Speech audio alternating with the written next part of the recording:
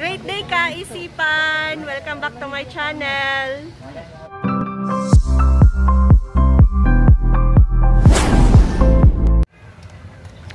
Andito po ako ngayon sa hospital ng Kalamba dahil nagpapa-insect bite injection, yung PEP.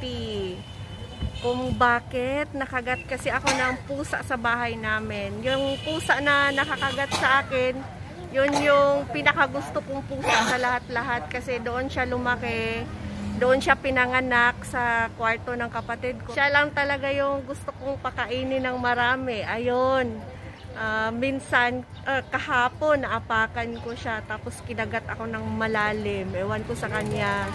Yun, so, marami ako na-interview kung bakit sila nakagat. I-share ko sa inyo. Pero bakit kaya yung Naisip nyo ba kung bakit yung mga domestic animals nangangagat? Um, anyway, pwede naman yung mga ibang mga um, mga ibang animals pwede gawing domestic. Pero yung pinaka-common is pusa and aso. Pero talagang pwede ba natin silang gawing pet? Talaga. Kasi ako, ayoko eh. Ayoko yung mga, ayoko ng mga, ayoko mag-alaga ng mga animals talaga. Eh, nagkataon, nandun lang sila sa bahay, ayaw na umalis. So, ayun, pinakain na lang. Eh, wala ka nang magagawa eh. Alangan naman papatayin. Pero yung aso talaga, karamihan kapag may aso, talagang sinadyang binili yung iba pinulot dahil naawa, yung mga ganun. Pero yung mga pusa, kagaya sa bahay namin, na padami ng padami, pupunta lang sila pag may nahanap silang pagkain. Ano doon? Lagi na lang sila bibisita or doon na talaga titera.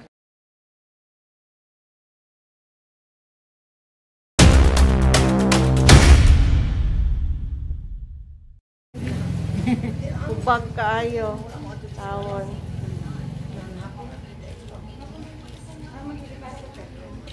Pila na nakatuig ng iro ninyo, Nay? Dugay na na. Tulo ka tuig, tulo ka ba? Then diha gyud na sa inyo itoy. Wala na ninyo ga anti-rabies nga injection? Injectionan. Ah, mao ding dili ra kay madutlan si tatay og rabies. Bali kang mga nila to. Iya tay, dili na di mo ligoon imong iro. Dili na. Ayaw ko pati yan. Ayaw eh. Ay, ayaw patiya. Naglagot yung katay? Na, ikaw na, ikaw, ikaw na po yung mutambog. Ikot. Imo na pong ligoon ng iro. Ko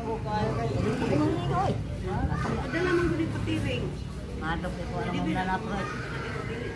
Oh, dili mo amigo sa iro sukad-sukad. Gawag dito ba? Magkapiro dito kasi. Ah, si tatay ra de gapangga sa iro.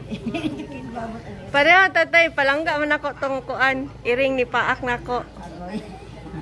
Siya ray akong ganahan. Oo, parehara daw akong gi-research. Daghana po dana oy. Murag daghan mo kay kalagot ang iro. Lalago to kayo. Hindi ka na harmony ko. Yan, saan man nato pagkabalog dili ganahan maligo ang iro?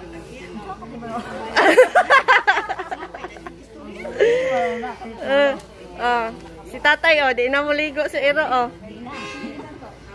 Manimaho na nanimaho to tay. Dili, maligo po liya ha. Maligo na ako. Mamutag pa ko.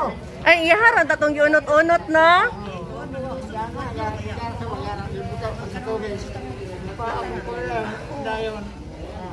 Ay, nakuratan to siya.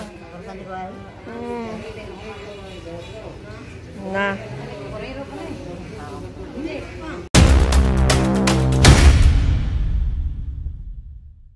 Iring na gud ano pa. Kano sa to siya napaakan og iring? Ano usak hatong ninti na ma'am basta kay dugay Ah, Adugay na kaayo. Mm, maring man ako. Dindi na siya maligo.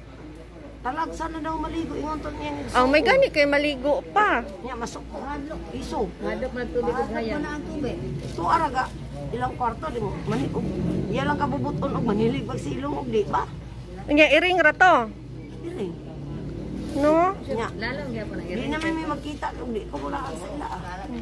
Ganong naamang ka diri, ma'am? Napakan man kiro May siya kaya silingan niya, is kinano ba kailan ito. Dula Buwanay magpasilingan pa na, na. may naghatag kininto. Lagi, ah, man na napaakan ni mo dong. Tiil. Ay, natabunan. Lo, dakuha mo na na. Ala, kano sa na napaakan? O ka na lagi. Martes. Kanya wala may schedule. Na schedule Martes. Oh, Martes sana man o Friday. Ah, Miyerkules. Ngano napaakan man ka? Dula. Tugan. Wala pa tira. Dula patiring. Saan patiring? Ligid bitaw sa mga Ah, naigo siya? Wala. Naigo siya? Tira ka. Nakura to. Nakuratan. Diha mas ang balay. Oh, magdula pa ka? Magdula pa siya ka nang walay iro daw. Sakit man pa kag iro dili. Ya, unsa man nimo kita kag iro? Gangot-ngot gani ako ang iring ra. Kapila na ni mga injik ma'am. Primero pa. Ako katulo naman gud mo. Ayahay. Kuman ako binisaya gani, pero mo. Atawal ka. Tawal. Ma'am, napakan naman ni Hindi, mangutan ako ni mo. Ngano napaakan mo kag iring?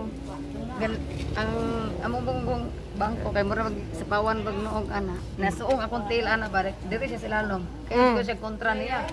Uban jud ditso akong tail gyud nga. Amaro. Kita. Kani una tulong sa bukog, murag hindulot sa bukog. Sige na to siya kasipaan, dili. Ah, dili go ah, idlasan man ang iringa pod. Mm. Nya bago pa sa inyo? Dugay mga tulong tuig na ing ipon sa mo ara ba na iringa akong gipakaon ka di man hugawan ko, di ba malibang sa kasa. Mm. Di akong gitig pakaon, ako pa nagpakaon, ako pa nagpakaon. Di man amo ang iring ko. Pero wala na po yung mga kon na. Ana, ika na lang mo ang ana. Okay, diha naman mo uli sa inyo. Ah, wala na ni ako po dili maguna mong iring, tapo ra po dili ba rin. Dasan ba jud kay na siya? Alias among iring, dili pud amo ang iring. Ako pun tulaan arolay bagtok.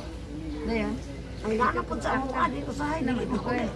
Dugay mama. Napaakan ni siya iring sa una? Wala iro. Aw, iro din wala ni mo na napa-injikan. Injikan pud ni siya sa iyang papa. Ah. Iro po siyang iyaan. Pero lima naman katuig ang eskwela. Santay na eskwela. Mo effect pa siya 5 years? Pero na injikan man ang iro na mo, ma'am. Maski na paniguro lang ba kay unsaon man ma nakapaak. pa mabalik pa ba di ay? Nakapaak. Naka- Nakapaak di naka-injik pud ni gihapon diri. Mm. Pa mang nahuman akong anak ko, inject anang bernes, o ka-bernes, napa-inject ako kung ako. Nabalik-balik. Ah, ganahan siya mo. Unsa iyahang pagkaon utan? Naroy, rin pag-utan. Lagi ang Saan? Unsa Karne o makakarne po tao. ang ganahan sa iring kay isda manggod. O isda. Pero ma ako siyang gitidan ba siguro kung na maghasang ko sa isda kinain akong sa dito. ginahan na. O siguro na balbal lang kay kaog buhay. Ako wala giluto ba. Oh, dapat lutoon. Mo jud ako. Nakahatag na ko. Kahatag na ko, sir. Asli. Aduha na na niya maring na.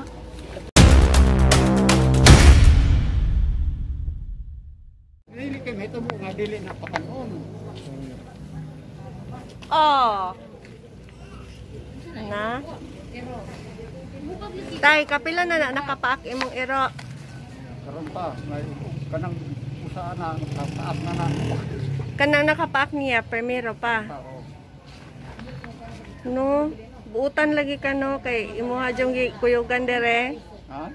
Buutan ka, kay imong gikuyugan. Ah! Nilaag sa inyo no? Ako nang helper so sa galingan ako yung siya mo helper nako. Ah, nilaag siya nimo mao na paakan. Duha ka man. So, na. Una maluoy ko ani kay Unya, unsaon man yung pag-istorya nga, di man daw siya kadungog.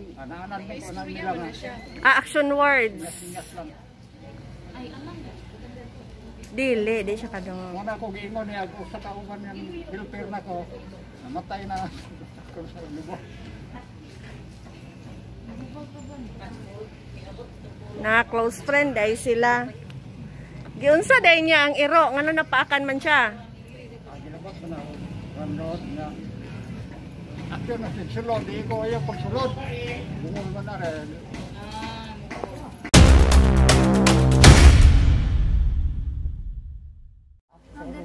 Puro nawala na dagway.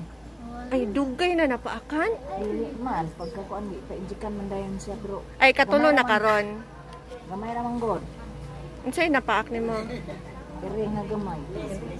Aka ng baby pa. Mm. Ah, pero kuano paniguro lang no. Natumban pud nako, pero dako naman ko ya, dakoon siya nga iring ba. Ato kay gamay natumban lang ning ikog ba ning pangit man dayon no. Paniguro lang nimo para kuan. Tanang tung nga Lagi no ka. kadugo kay yung pis ayo. Pag-. Pero hait kay siya ngipon. Kadugo kay katulog mo dayon. Sumun to natumban ra. Natumban yang ikog. Mao gyud ni sila no. so matumban. Ako kain ko nga ana ni malos raman siguro to kay nagisipa na ako ba. Then, Ah, dili kana natumban dyan ako siya. Okay raman to kay palangga man to nako ka iring. Natumban lang yun ako. Kay mag-ana-ana mo mag-ana-ana mag sana mag ipid-ipid yawa ko bantay nga naa siya. basta masakitan yun pa ako nila sila. Di naman makita ni mong samad.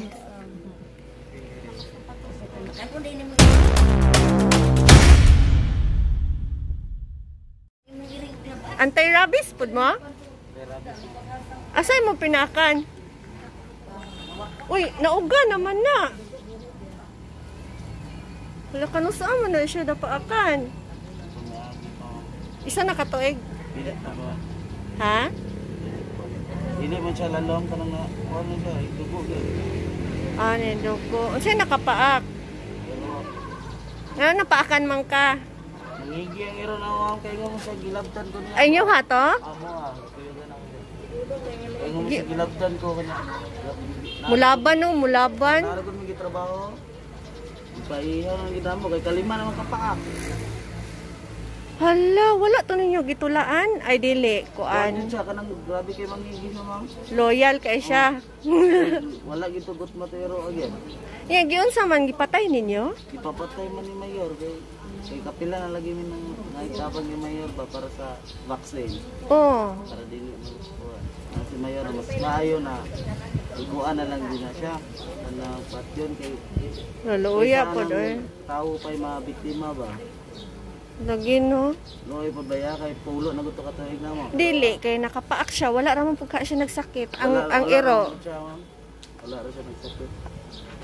Na. Kusog lang din kayo mangigil. Oh, mas mahalaga gyud si tao kaysa kuan aso. Mm.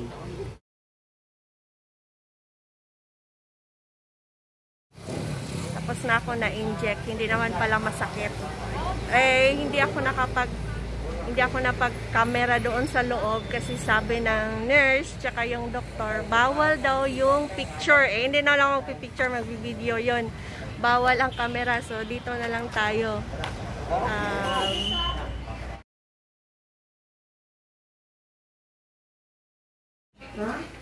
Sinaan.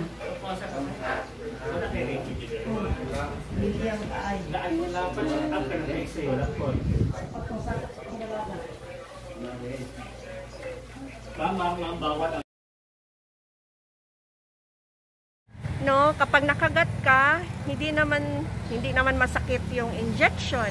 Hindi naman masyado mahal yung bayad, pero ang hindi maganda doon is time consuming kasi kuha ka pa ng number, magbabayad sa ganito, tapos lipat-lipat ng lugar, ganyan. Lalo-lalo na kapag probinsya, hindi iisang department lang yung pupuntahan. Tapos matatagalan ka talaga, maghihintay sa pila, ganyan. So, much better. Careful tayo, ano.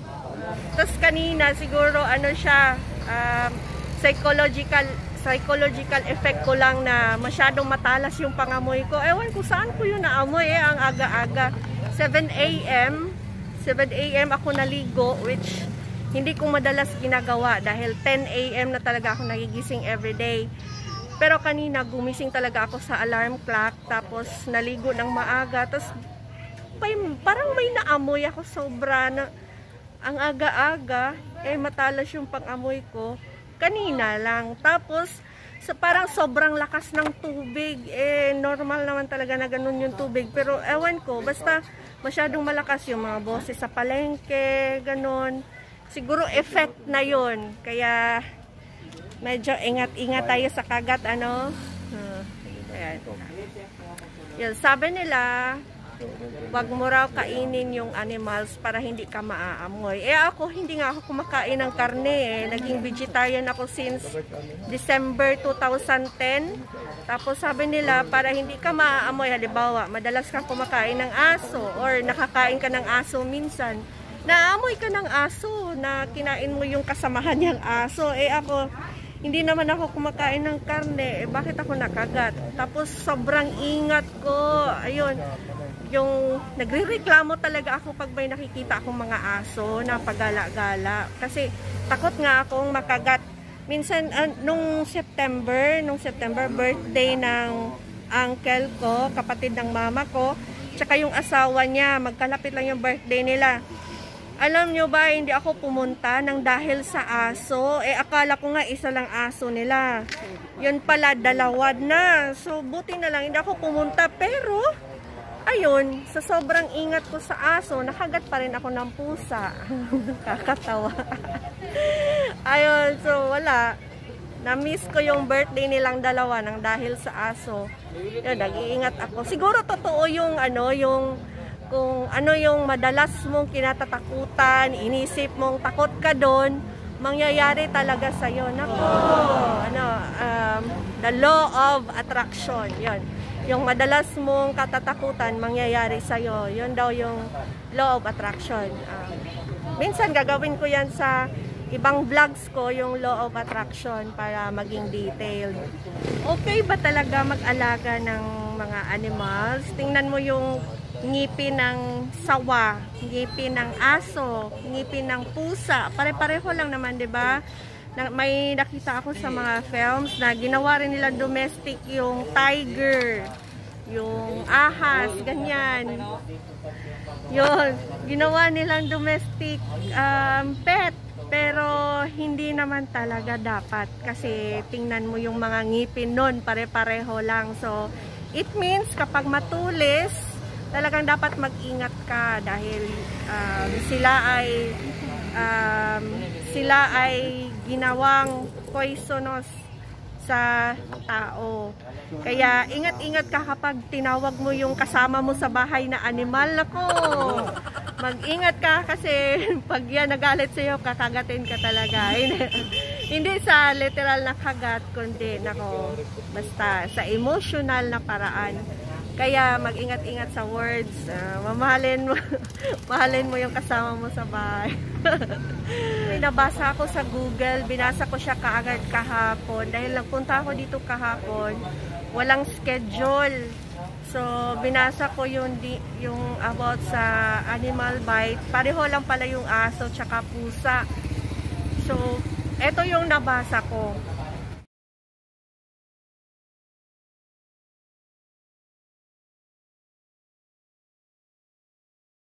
Yung brand na na-inject sa akin, ibang brand daw. So, instead na 3 times, 4 times na ako pabalik-balik dito. So, next week ulit. Tapos next, next week. Kasi, every Tuesday and every Tuesday and Friday lang yung schedule dito.